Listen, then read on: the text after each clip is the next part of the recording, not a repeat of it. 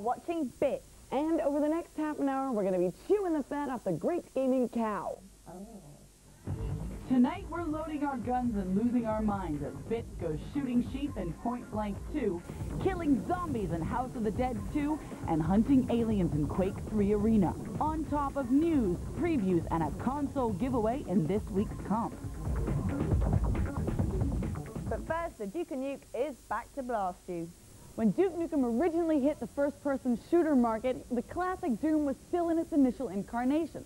This trash-talking Arnold Schwarzenegger pumped-up beefcake feller took over the scene until Quake time, at which point the population became firmly divided between the two killer games. The Dukers looking for some serious laughs, and the Quakers desperate for some serious blood. Now, Mr. Nukem is just about to make his second console-only appearance, this time on the N64. Duke Nukem Zero Hour has arrived. In the beginning, Duke Nukem was a PC game. It was a hit, so they decided, as oft happens, to port it over to the PlayStation.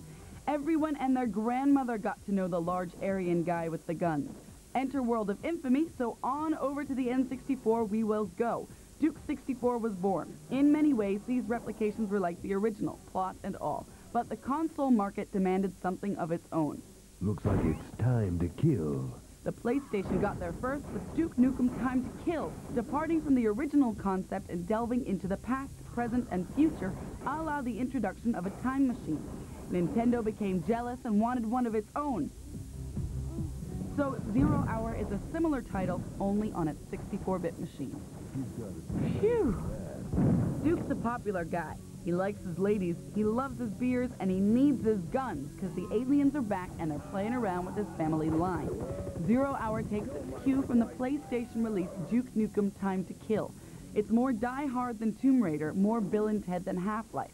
You've got to save yourself from extinction by building up a time machine, protecting your ancestors, saving babes, and ridding the bad guys from present-day NYC, the Wild West, Victorian England, and some mixed-up parameter zone where the alien mothership resides. Unlike previous PC or N64 versions of the game, you get to see more of the hunk o Duke meat from the PSX-originated third-person perspective. Originally, the game was supposed to have a first-person option, but for now, the only places you get to see through the Master's eyes are when up against a wall, mm, in sniper mode, or in the multiplayer Duke match. It makes the play feel more non-linear and gives you a sense of stability as you parade around city streets with armaments out the wazoo. But it has the same failings of all third-person adventures, like uneasy aiming and jumping control. Though at first glance it seems similar to the latest PlayStation Nukem, the 22 levels have been designed specifically for the N64 using the Turok engine. Expect a few bows of respect in that direction, and better gameplay all around. It's definitely got the feeling of GoldenEye action, Tomb Raider adventure, and Half-Life battle, but it's funnier. It's got personality. It's a little bit cheeky. Touch me again, and I'll kill you. Movement of the man has been upgraded, so get ready to rumble sideways, spinways, rollways, jumpways, and somersault ways. Plowing through with your weapon hanging tough is no longer the only option. In fact, the game requires brains with your brawn. You won't be able to rely solely on flipping switches to get objectives completed either. 007-style missions with multitasking no less are plentiferous here. Unfortunately, there's no saving between goals or during maze wandering, so expect to be holed up in front of your screen for at least 40 minutes per level. If the puzzles are coolio, then the bad guy AI leaves something to be desired. The element of surprise does not enter into the gameplay. The only replayable thing about any of the Duke Nukems is the search for secrets and babes. Alien scum is easily destroyed at the exact same position every time you come around that corner. And they're not exactly making a beeline away from your rapid fire. What is this, Silver Service? Monster-wise, the old standbys are back, like Octobrains, the Pig Cops, and the Sentry Drones. New folk pop up according to the time, like the Plague Zombies, similar to the skeletons in Castlevania 64, which come out of the graveyards of Victorian Britain. The death rates are a bit on the inconsistent side, and I found that kicking butt was more difficult up close than at sniper's length. That aside, they are fantastic to look at in full 3D with no pixelation anywhere. Nay sprites here, you can blow them into separate chunks. Weapons are varied and plenty, the nicest touch being the period pieces. Check out the similarity between Duke and Clint with the Colt 45. So violence is cool on the N64, but they've taken out all the boobs. Yeah, you can read the tongue-in-cheek posters and check out the graffiti. But the babes are fully covered and they are less exotic. What do you expect from the kids' console? Full frontal? The visual quality of Duke Zero Hour challenges even the PC versions and easily exceeds the blocky pixelated mush of Time to Kill. There's absolutely no fog. Now, multiplayer is a whole other story. With the fantastic option of four controllers, you and three of your best mates can duke it out physically and intellectually, bantering about which new hole you're gonna rip where and what your face looks like in the morning. Best of all is the Team Duke match where you can gang up and ostracize your weakest pal, mocking him into miserable depression. There are 29 characters you can play and 14 different battle zones to choose from. We like Duke. He's clever, he's witty, he's got a thing for the babes, and he doesn't let his work get in the way of it. Respect for the man. If you're a graduate of Tomb Raider and you're looking for something cool before TR4 is bouncing into view this Christmas, well, this hot tamale might just take your sights off of Ms. Croft's bum and put them permanently onto the nuker. He's got a hell of a lot more style. Duke Nukem Zero Hour is releasing some scenes from early September. Hail to the king, baby. Point Blank 2 follows in the footsteps of the original with Dr. Don and Dr. Dan tripping the light gun fantastic. Probably not the biggest smash hit on the PlayStation when it first came out, it has since built up a massive cult following. Now it's time to dust off your G-Con 45 and start shooting from the hip. Okay, so there's not a huge difference in gameplay between the first and the second, or even the arcade versions. The same premise applies everywhere. It's all cutesy characters, red and blue targets, and terrorists looking for trouble. You'll be faced with a plethora of specific time challenges, some of them simple, some seemingly impossible, all of them addictive. There are four key areas to explore in this version. First up is a castle with a choice of one or two player modes and a new addition to the game, the endurance test. Yes, you guessed it, this is where you pit your skills against the computer in endless shooting gallery challenges until you run out of lives. And it's a hard task. For those of you who enjoy a more leisurely ride, go into the versus or one-player mode. Here you'll be faced with the usual choice of levels, including practice, beginner, advanced or insane. If you're having difficulty with a particular round, such as one of the moving target set, then pop into the training mode, where you'll be able to choose your series and improve your play. It's also good if you like one of the challenges, such as the sheep shearing one, which is brilliantly daft. Oops.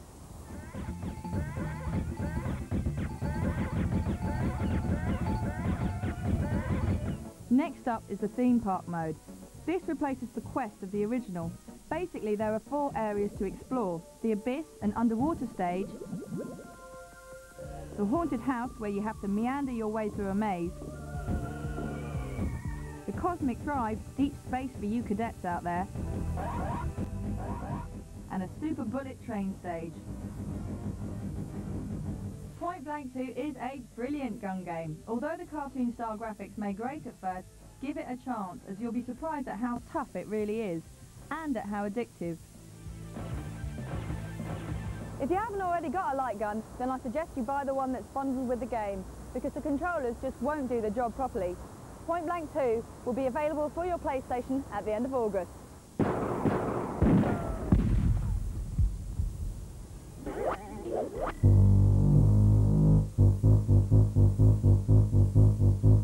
If you fancy a racing game that combines dirt with power and absolute stupidity, look no further. Monster Truck Madness 64 is on its way.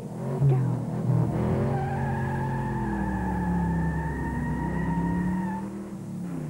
Truck Madness 64 doesn't make any false pretenses. The game is all about bringing arcade fun to your living room. You get the choice of 20 of the biggest and baddest trucks and roam around 10 gnarly tracks. But what developers Edge of Reality have achieved for the racing machines, they certainly did not accomplish for the rest of the game. The environments are poorly textured and generally seem to suffer from the good old blur syndrome. You can't look far ahead, and even if you could, there's nothing to see. Also, I expected my machines to get dirty or at least kick up some mud. Monster Truck Madness 64 makes sport look very clean indeed. But racing is not the only thing you can do. There are also a couple of battle modes which will have you play soccer, hockey, or even police, chase, and tag. Which brings me to the handling of the vehicles. Most of the time, maneuvering just feels out of control. Also, when you crash into cars, the impact of the collision is often overemphasized. Trucks fly all over the place regardless of the force of impact. Realism comes second in this game. But if you enjoy trashing into metal and like your opponents be squashed on impact, this game will keep your adrenaline pumping. Monster Truck Madness 4 N64 is out to buy now. Yes, Nintendo have been raking it in with their divine little Game Boys, but now it's time to run for cover or run to the shops, whichever way you want to see it, because the Pokemon phenomenon is coming to town. It's already taken over Japan, the US and Australia, and no doubt we too are about to be brainwashed into giving the little Pokemon creatures a home on our handhelds. Makes the Tamagotchi seem about as interesting as telling the time. Continuing the trend we started in last week's program, we're congratulating four lucky winners from competitions two and three. Stephen Edwards, Paul McGinney, and Mr. C. Hewitt, you were correct in declaring that the Pac-Man car is the ultimate unlocker in Ridge Racer 4. So you're going to be driving away with your very own console-specific steering wheel. The following week, we gave away a deck set of GT Interactive games. Who the heck would want so many? It appears a lot of you did. And certainly Ahmed1 at mcmail.com did, because he sent in the correct response. The Sims is the next project from Will Wright, one of the top 50 most influential people in the world and creator of the Sim City series. For the rest of you, sim porn industry is not in the works, so stop sending it in. But do keep sending in your homemade games. We got one from one mailer, curiously called Sonic Sweet Pea, who sent us the penis game. Very droll. Send them in, though, because we're hoping to review them at the end of the series.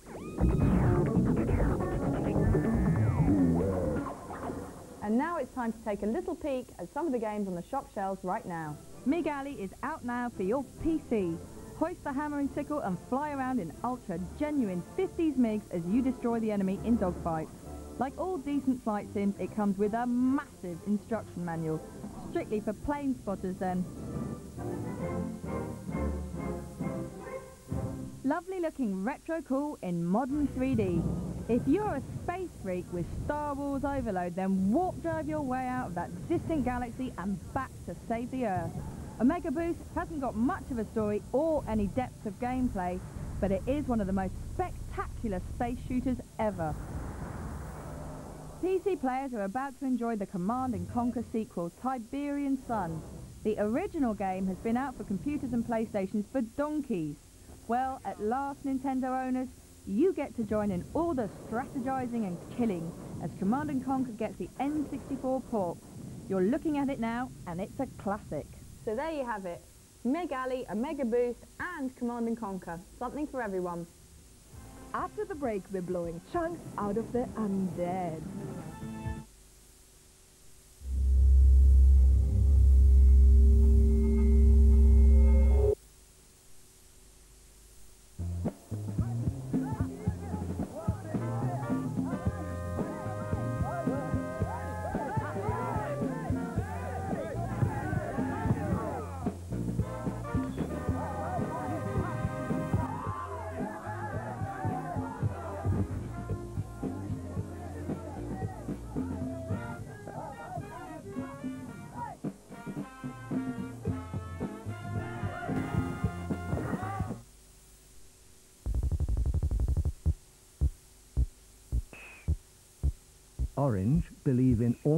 Our customers more.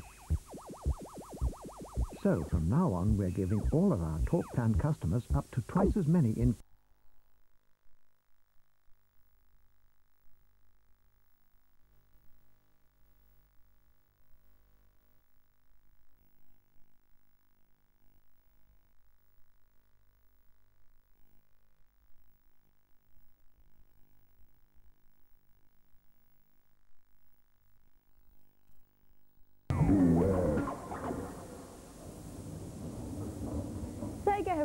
fortunes with their coin-ops, and amongst the most popular series has been the House of the Dead.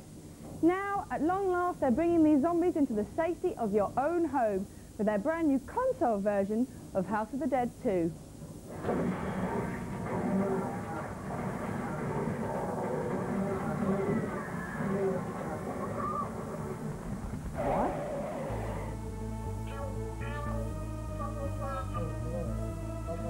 For those of you who don't know it, House of the Dead is basically a point-and-shoot game set in a city overrun with zombies and other revolting creatures. Please be safe, G. Apart from the visual realism, where you can blow off the monster's body parts bit by bit, this game is pretty tough. Frankly, if you've never tried it, I defy you not to love it. What could be more cool than being sat in your living room zapping zombies from your sofa? It doesn't get much better than this, really. The arcade version has been faithfully reproduced, including spectacular visuals. Now, for those of you who rushed out to buy a Japanese Dreamcast so that you could show off to your friends, let me tell you that the PAL version I've been playing shows noticeably better graphics. I found that the NTSC version kept sticking when I used it. Apart from the arcade section, which is unquestionably masterful fun, there are several other modes to convince you that this is indeed a game well worth shelling out the Nelsons for. Firstly, there's the original mode that initially plays just like the arcade one, but this time you get more pickups, including extra lives and new weapons to use against the ghastly ghoulies. Thank you for rescuing me. Check out the boss mode too. Here you can pit your skills against all the big baddies you'll encounter in the game. Of course, you'll have to unlock them first, but if you're having difficulties with one in particular, this is a good place to practice. The training mode, however, is probably the best new addition in the console version. There are 10 stages and each is like a mini game. You'll have to save hostages, kill loads of zombies with limited ammo, and shoot barrels amongst other cool stuff. Well worth spending some time here as, if you do well, you may get the chance to cheat. Listen up. To get all the items in the original mode, you'll have to finish the training mode with a 5 red star difficulty on each training stage. Undoubtedly worth it, but it isn't going to be easy.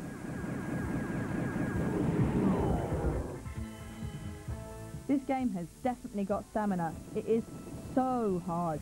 Even Clint Eastwood would have a run for his fistful of dollars. However, it is just another shoot 'em up, and not the most refined one at that. Point and pull the trigger as fast as you can, basically.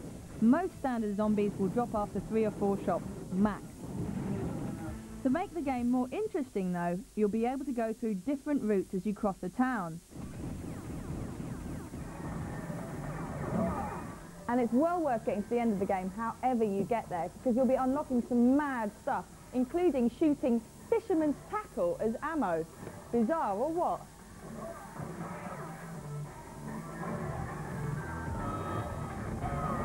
House of the Dead 2 is undoubtedly one of the strongest titles on the Dreamcast to date. It'll be well worth the dosh when it comes out in September.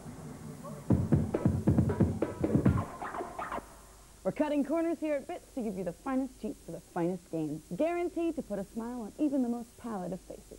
With our handy scissors and a piece of paper, we're going to hack and paste together all of your encoded fantasies. So Big Boy Swiss Skates is your bag then. Take this cheat for NHL 99 on PC and transform that rink into a freak show on ice. Give your players elongated arms, legs, and necks. In the main menu, type in Mantis for some giraffic action. And watch those grizzly guys get gangly. For those of you into the theory that bigger is better, then you obviously haven't tried this cheat. In Mission Impossible on the N64, unlock a Diddy rocket launcher to pepper those bad boy scum with teensy-weensy little bullet holes. Ouch. Go to the level select screen and press R, L, C left, C right, C down. It's Emmental time for those big cheeses. Bruce Willis is far too big for his britches. Now, if you think that his physique should match his ego, well, then this porky cheat for the PlayStation Die Hard trilogy should bulk old Brucey up. Pause the game, and while holding R2, press right square square down. And now you're bloating your way to the top. Yippee-ki-yay. Surprisingly enough, the seminal game series Quake has only been around for three years. John Carmack built it back in 1996 and since then it's gone from strength to strength. Now it's back. This new Quake promises to merge the best in 3D engineering with the ultimate in death matches.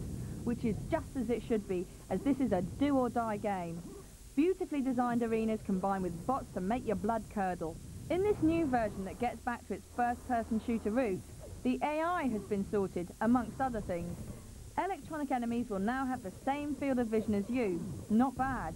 Like in Quake 2, you can currently download select Quake 3 levels off the net, and they're looking dandy. So come on Christmas, get your act together, because PC players are just dying to get bloody again and feel the keyboard tremble and shake.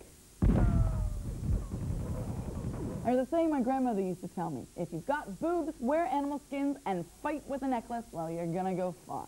Thankfully, one person has followed Grandma's advice, Xena Warrior Princess, because now she's got butt-kicking rights on PlayStation in her very own action-adventure scantily clad title. And oh, aren't we proud? She's the chick from the TV show, the female Robin Hood of the prehistoric day, and as is the way with license-driven creations, the game's not had a lot of thought put into it. Yes, they're letting the boobs lead the way. Yes, it will gather the millions of Xena fans together to sing her praises and quote her oh-so-deep thoughts daily. And for one fleeting moment, they may actually believe they're in charge of her destiny. But the reality is that you could put anyone into her role and you'd end up with yet another excuse for a walking beat-em-up with supermodels with pointy hooters who don't break into a sweat. And regardless of how many times she's struck by a mighty sword, not a stitch of clothing comes off.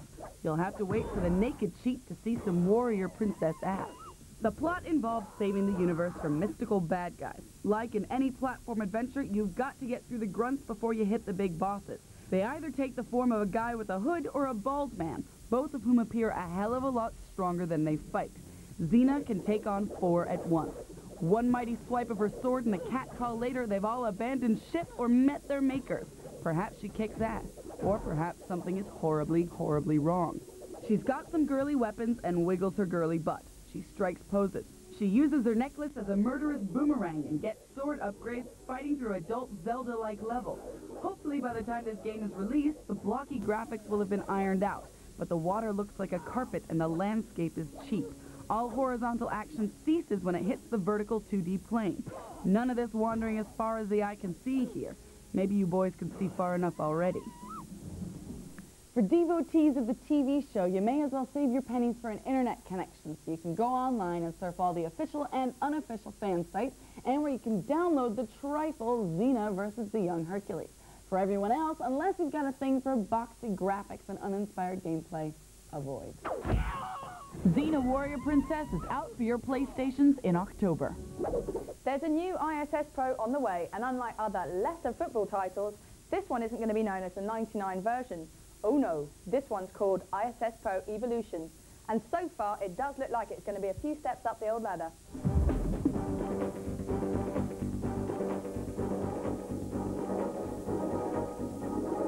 The most noticeable difference, apart from the faster frame rate and therefore improved graphics, is a more open feel to the gameplay.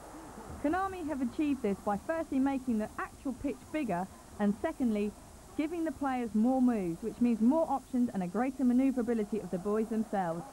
In ISS Pro 98, they had basic diagonal movements.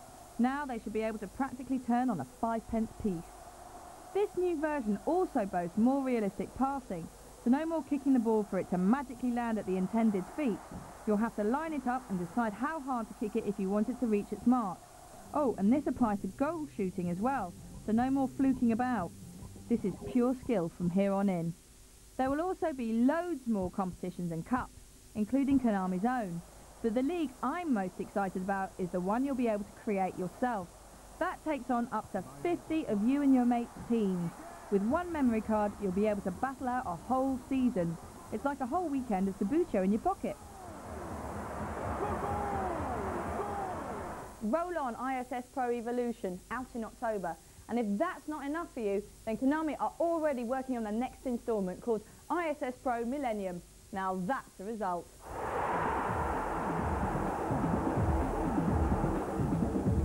Coward. It's competition time, and this week we've got a dream prize for you. Yes, you could win your very own Dreamcast delivered to your home on September the 23rd the official UK launch date of Sega's brand new Super Console. If you can dream up your weirdest and wildest analysis of Aleks's nightmare.